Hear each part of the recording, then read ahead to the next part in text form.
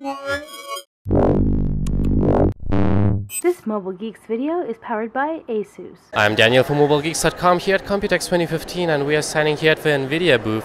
And over here we have a beautiful computer rig with uh, the brand new GTX 980 Ti. And over here we've got Justin, the product manager for the 980 Ti. And yeah, maybe you can give us a quick tour. Sure. So, um, this is our uh, brand new 980 Ti, just launched uh, today, or just launched yesterday.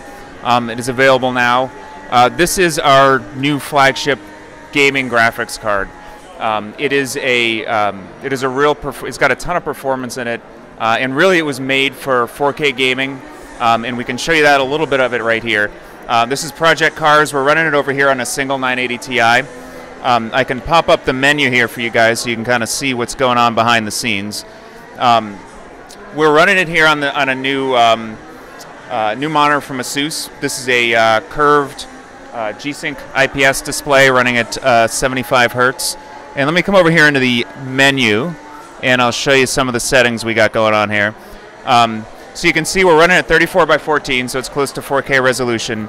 Um, we have the A turned up to DS2X, that's essentially 2X super sampling, and we got everything cranked up to higher ultra, um, more or less as high as you can go in, the, in this game. And so um, we have Project Cars, all the settings cranked up, and we are going to start racing. Um, and you know that that's really what the 980 Ti is all about. It's going to take a modern game like uh, like Project Cars. It's going to let you play it at 4K or in this case near 4K settings, um, and really just uh, look gorgeous. It'll give you a really nice, smooth gaming experience.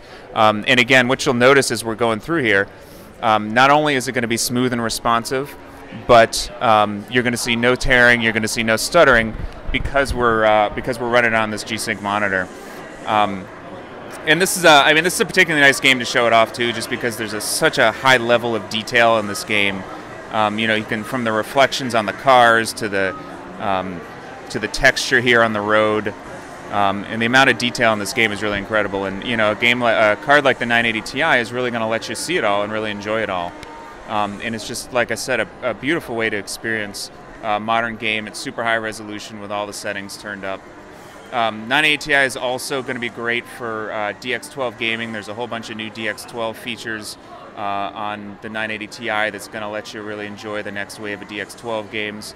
Um, we've got whoops, we got a whole bunch of uh, virtual reality technology also goes along with the 980 Ti. So anyone who may be interested in virtual reality should be coming next year and you want to get ready for it now, the 980 Ti is going to be a great card. It'll really, it'll certainly power some of the best next gen uh, virtual reality experiences as well. Yeah. So uh, speaking of virtual reality, there has been some new technology announced with a with a Ti. Can you give us like a short summary of what it's all about? Sure. So um, we also, along with the 980 Ti, announced a new technology called multi-resolution shading. Now, multi-resolution shading is really an innovative new way to render in virtual reality. As it turns out, with virtual reality, when you render an image, we actually have to warp it down to put it on the headset. The reason we have to do that is there's a lens in a headset, and when you look through the lens, you know, anyone who's looked through a magnifying glass would, would appreciate this. When you look through a lens, there's a little warping around the edge. And in order to make the image look right, we actually pre warp it, display it on the headset, and then when you see it through the lens, it looks right.